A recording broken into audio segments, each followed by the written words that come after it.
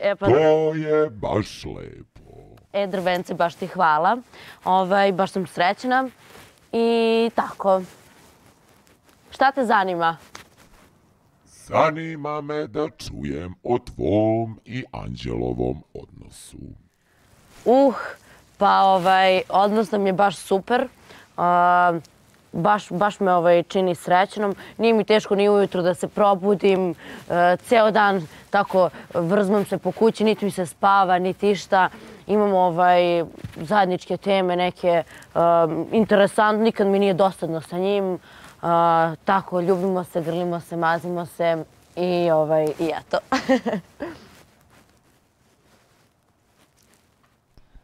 Ana, kakva su tvoja osjećanja? A, pa joj, sviđa mi se baš. Ne znam, možda sam se i zaljubila, ali još uvek to ne znam. Ali da mi se baš sviđa i ovaj... Da, baš mi se sviđa. Možda je to čak i krenulo sad ka zaljubljivanju, ali ne znam, nisam još uvek sigurna. Pa neću da trčim pred rudu, pa ajde pustit ćemo ovaj malo još vremena da vidimo, ali baš mi se sviđa. Priča se po zadruzi da ima dosta ljubomornih devojaka. Da li si ti to primetila? A, pa, sinoć sam čula a, da je Milica Mensurova bacila isto oko na njega. To nešto nisam primetila. Primetila sam samo ovaj, Ana Spasojević.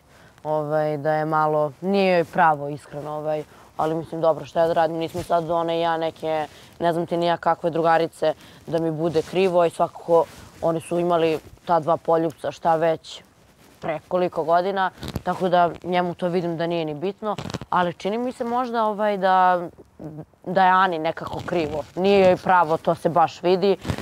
A sada još, ne znam, ne znam da li ima još neka. Eto, za Milicu sam sinoć čula ovaj, da se sređuje od kad je Anđelo ušao, da mu se smeška. Ja to iskreno nisam primetila, nisam ni obraćala pažnju. Na Milicu i Mensura baš ne obraćam pažnju. I ovaj, ali eto, od, od, od sinoć sam, eh, od kad sam to čula za Milicu, onda sam malo ovaj, rekla da ću baš da obratim pažnju onako sa strane, da pogledam šta se dešava.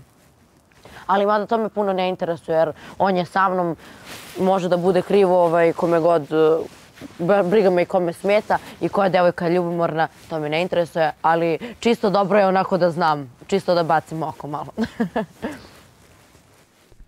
Šta kažeš, Ana, za ovaj drugi novi ljubavni par? Za Dejana i Aleksandru. Uh, ovaj, meni je to sve baš slatko i ovaj, mnogo mi je drago, najviše mi je drago zbog Dejana. Iskreno draže mi je zbog Dejana nego zbog Aleksandre, jer je on bio u ovim svim situacijama kako mi je bio. Ovaj, slatki su mi zajedno, ona jeste i lepa i zgodna devojka, što da ne, pogotovo ako je on srećan, meni je to baš lepo. A, tu je sada, ne znam, drvence, da li si primetio, Marijana je malo krivo i Marijana je malo ljubomorna ovaj, jer su one bile drugarice i Dejan je, ja to ne znam, nisam tu bila od početka, ali čula sam da je Dejan imao takav odnos, osim ljubljenja i toga svega što je bilo uh, utorak posle žurke, imao sa Marijanom. I ovaj, onda je njoj malo krivo sad zbog toga, ali ovaj, inače meni kao meni generalno kad isučemo Marijanu, pošto mi je drugarica, meni je to ekstra.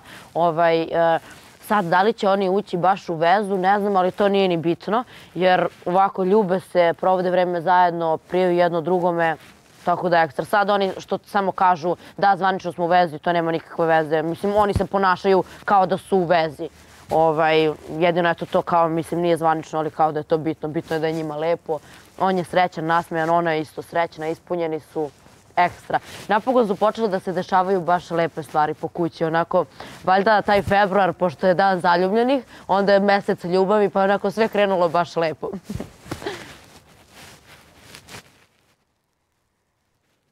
Ja se nadam da će u zadruzi cvetati ljubav. Pa da, i ja isto, ali moraš priznati drvence da je lepo počelo sada u posljednjih par dana. Ne. Slažem se skroz. A šta kažeš, Ana, za Dalilu i cara?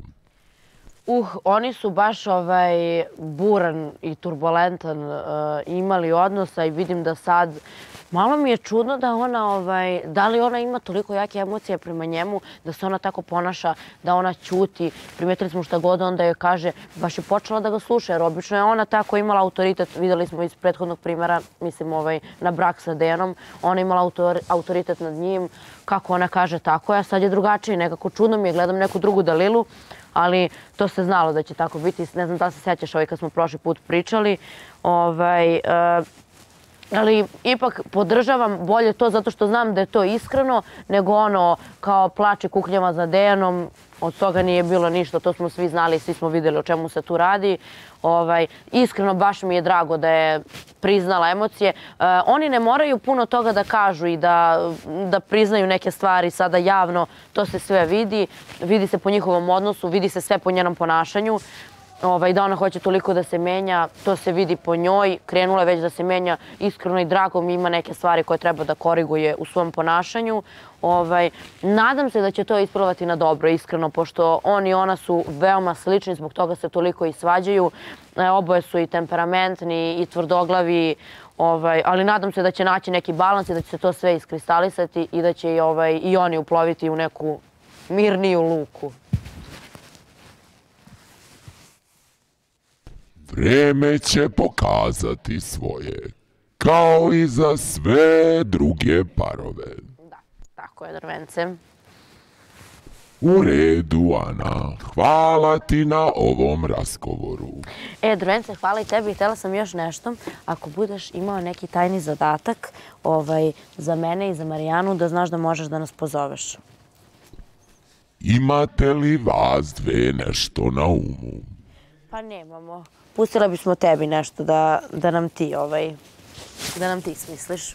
U redu, Ana. Imaću to na umu. Važi drvence, hvala ti. Ćao.